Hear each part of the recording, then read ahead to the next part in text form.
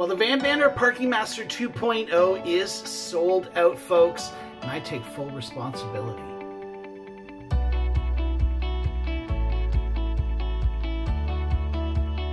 Hey everybody, welcome back to the channel. My name is Alton, and I'm so glad you could join me. If you get a chance, why don't you like and subscribe, and uh, be sure to stick around, because at the end I have a big announcement. I am going to give away a green Vanbanner Parking Master 2.0.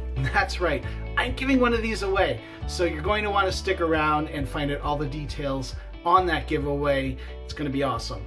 Now, why do I say that I take credit for the success of the Parking Master 2.0?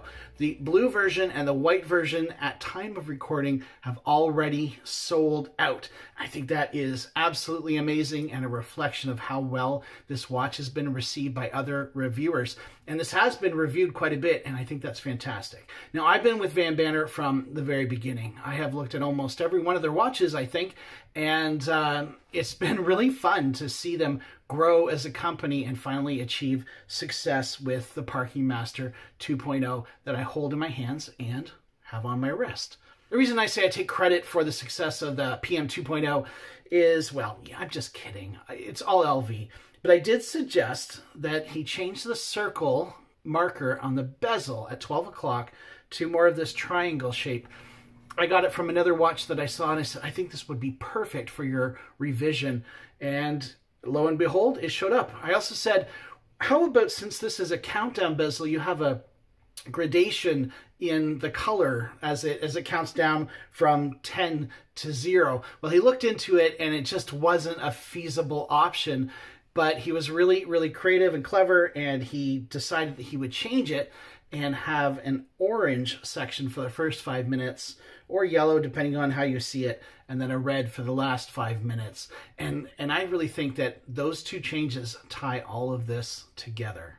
So having taken credit for the success of this watch, I'd like to uh, I'd like to go over the pros and the cons and uh, the stats and do a little summary for you, and then we'll get into the giveaway. So why don't we begin with the specifications? Well, the specifications on the Parking Master 2.0 are pretty great. Check this out. The Parking Master begins with a 316L stainless steel case, of course, that's what you'd come to expect these days. It has a 40 millimeter case diameter, a 41 millimeter bezel diameter, a 48 millimeter lug to lug, and 20 millimeter lug width. It's 14 millimeters thick, but the last two millimeters of that is the domed crystal, so it really wears more like a 12 millimeter watch. So all in all, these are fantastic dimensions for a watch like this, extremely wearable for most people. The bezel is ceramic, and it's a countdown style bezel. As you'll notice, it starts at 10 with some yellow and then red at the five minute mark. And finally, as you get down to zero, you know that you have missed your parking meter allotment. The markers are filled with BGW9 Swiss Superluminova and it's two different colors of, of loom, actually four if you really think of it. It's got the green, it's got the blue, it's got the orange and the red, and they all actually shine pretty brightly except for the red. The red seems to dim pretty quickly, but it is really, really cool to see this light up at night. And of course it has a 120 click unidirectional bezel, and I'm just going to do this for you. Oh, doesn't that sound great? It is a fantastic bezel with very little back play, lines up perfectly, definitely not in Seiko territory in any way because all three of my versions line up perfectly. The crystal is a 2 millimeter thick single dome sapphire with double-sided premium anti-reflective coating. So what that means is that with a single dome sapphire crystal, you get a lot of distortion on the crystal. And for some that might be a negative, for some that might be a plus. The plus is it really provides an interesting dynamic, gives it a bit of a vintage vibe. The downside is it's not always going to be as legible as you'd like at certain angles. That AR coating on both sides of the crystal, that means that it is always going to be visible. However, you do want to be careful because if there's AR coating on the top of the crystal, that AR coating can be scratched. So I would recommend using a polished cloth when cleaning the crystal. The Vanbanner Parking Master has a screw down crown and the crown itself is actually loomed. It's, it's pretty cool. It's not quite at the three o'clock. It's not quite at the four o'clock. It's somewhere in the middle. It's actually quite unique in that regard. And it is loomed and it is red loom, which is really super cool. That ties in really nicely with the red seconds hand. It ties in really nicely with the red on the countdown bezel. Now turning it over, we look at the case back and we see that there is actually a transparent case back. And that case back is also a sapphire, so it's a sapphire sandwich. And there is a sticker on there or printing. I'm not exactly sure how that's done. It feels super smooth, so it must be printing. And that printing has all of the information that you could possibly want. I think this is going to be contentious with some people. Some people either like to see the movement or they like to have a nice sealed screw down case back with no ability to see the movement. And here you kind of get a little bit of both in the fact that while it is a display case back, you can't really see the movement. But then again, it's a Miyota 9000 movement, so do you really need to see it? So let's talk about that movement for a second because that movement is a 9039 Miyota movement and I love this movement in budget watches. It is a high beat movement, it is hacking, it is hand winding, it is fairly accurate and I would take this over the NH35 any day of the week. I think this is a great choice for the Parking Master and it's a great choice for a watch at this price point. Something else I want to point out is that LV is pretty clear, and you won't see this quite often. I don't know if it's been mentioned, but the movement has a steel movement holder. That means inside of this watch, there's a, a space around the movement, and you can't just let it wobble around in there. Oftentimes, you're going to have a plastic holder. Well, he was very sure that when he talked to the factory, he said, I want a steel movement holder in there. I want the weight, I want the feel, and I want to know that it's not going to degrade over time. That's the kind of attention to detail that you don't always get these days, and I'm really happy that LV made that choice. Another way that we can see attention to detail is that this is a no date watch, and when you pull out the crown, you find there's no date. There isn't a ghost position. LV has made sure that this watch is really well thought out. Now you can get this watch in three different colors at the present time. There's white, there's blue, and there's green. And I happen to have all three of them to show to you today, which I think is great. Right now, two of the colors are sold out, but we're going to be seeing, I think, a restock sometime early in 2022. I know he's got them on order. It just depends on when those can make it to him. So good news for those of you who want a white or a blue version. And honestly, they're my favorite. I'm not really a green guy, but I have to say the green is gorgeous. And so if there's any available and you like a green dial watch at the time of this making it to YouTube, I would suggest snatching it up sooner rather than later so you don't miss out. Now this watch does come with a stainless steel bracelet and it's a, a pretty great bracelet. It's not perfect, we'll get to that in a bit, but I quite like it. It, it has an industrial design. It, it sort of looks like an H-link bracelet, but actually it's a three-link bracelet. It has a male end link, but that male end link curves downwards. And that means that when it sits on your wrist, it sits really well on your wrist. It sort of follows the natural contours of your wrist and it is extremely comfortable.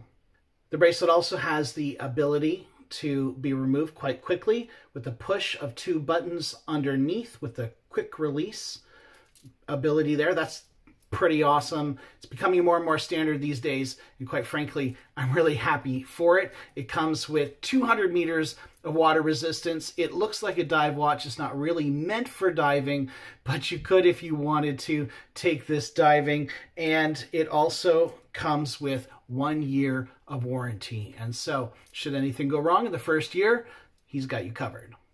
And all of this can be had for 310 US dollars, which I think is a great value, especially if you use my promo code. You get an extra 10% off. So you're coming in well under $300. That's a Spinnaker watch range, but I think you're going to get a lot more in this than you would in a lot of Spinnakers. So use that discount code. I don't get any kickback for it whatsoever.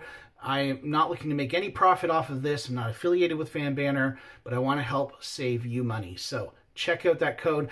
And all of the reviews that I've seen so far have been given a code. So use whichever one of those you want. Make sure that you're saving that extra 10%. So what are the pros to this watch? Well, I think the first thing that comes to mind is definitely the specifications. This watch is loaded. Let's talk about the size. The size is fantastic. 40 millimeters, under 50 millimeters, lug to lug, a bracelet that tapers down. That spec is fantastic. Let's talk about the materials used. Sapphire, AR coating, front and back, Miyota 9000 movement. I mean, what else are you looking for in a watch? I think right at this point, for 300 bucks and actually quite a bit less, there's a lot of competition and you're going to find that this is just as well spec'd as any watch out there for the price. I think it's going to come down to, for you, do you like the style of this watch? Another pro for me is the functionality of this watch. I love the idea of a countdown bezel. I love the idea that I can get out of my car, put my money in, crank this thing around, and align it to the minute. Off I go. I know exactly how much time I have left unless perhaps I'm parking more than an hour. But I just love how practical this is because let's be honest, very few of us take our diving watches diving.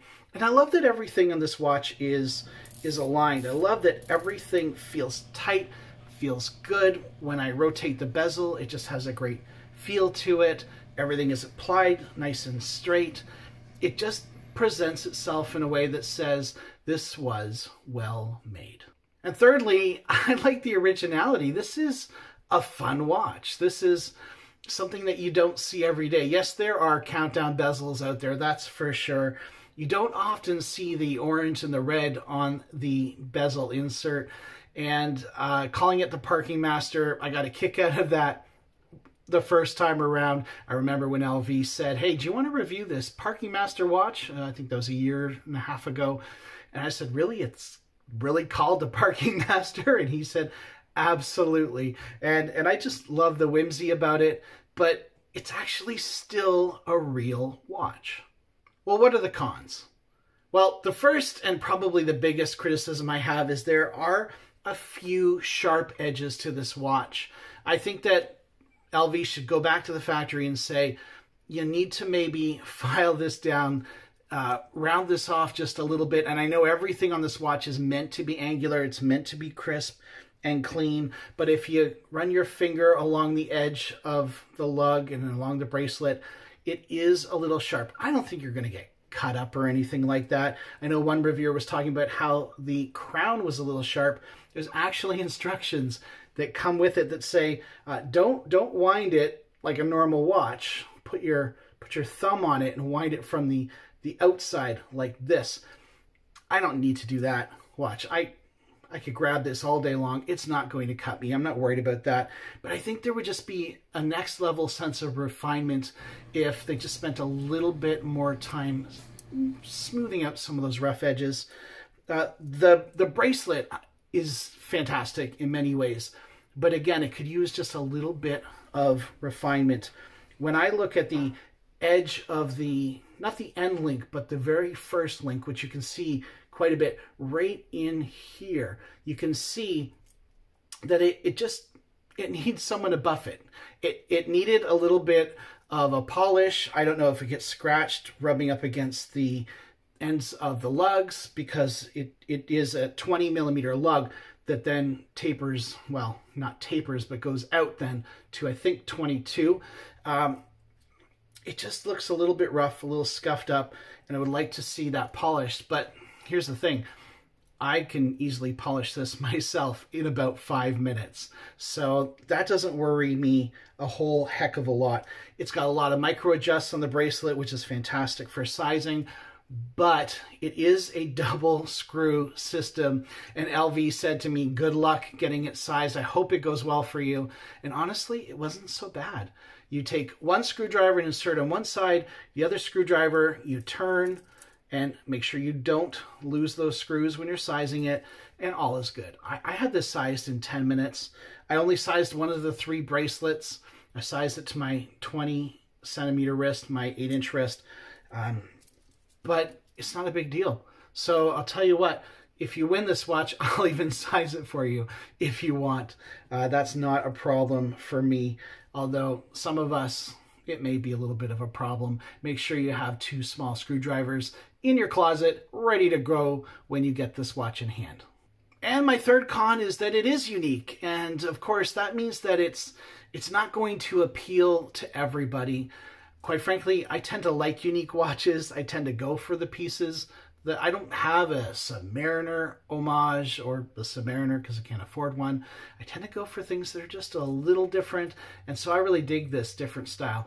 But if you're the kind of person that's got to have the basic Hamilton khaki, the basic Submariner, if that's your style, this may not be for you.